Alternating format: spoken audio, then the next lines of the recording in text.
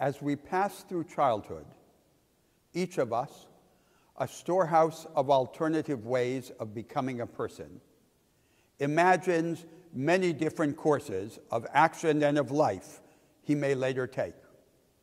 However, we cannot be everything in the world. We must choose a path and reject other paths.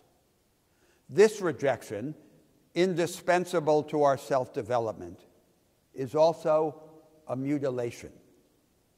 In choosing as we must, we cast aside many aspects of our humanity.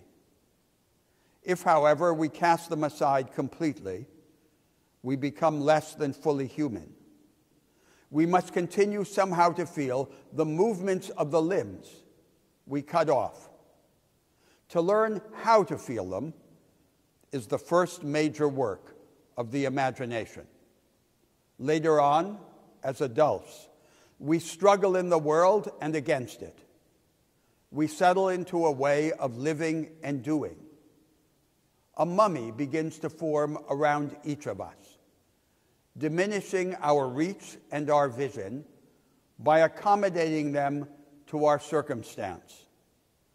We begin to die many small deaths. Our aim should be to die but once. We can continue to live only by breaking out of the mummy. We can break out of it only by denying ourselves some of the safeguards with which we protect ourselves against the frustration of our longings and the defeat of our ambitions. Life comes before goodness because vitality is the condition of sustained and magnanimous compassion. We are plunged into a great and mysterious darkness, which our minds are able to penetrate only at the edges.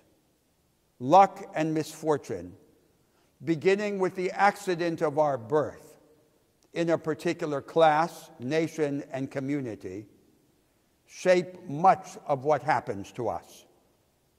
We would be almost nothing if we did not fight against the consequences of this fate and recognize in ourselves the unresigned and uncontainable spirits we all really are. By rebelling against our belittlement by the alliance between chance and society, we cease to be little. We become great, unshaken, unsubdued, unterrified. Our struggle, which is the condition of greatness, would also be the cause of our perversion were it not transformed by love.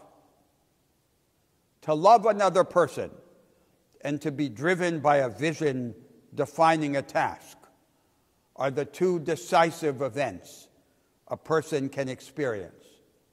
They make us godlike, but not just like the God who creates, also like the God who suffers and dies.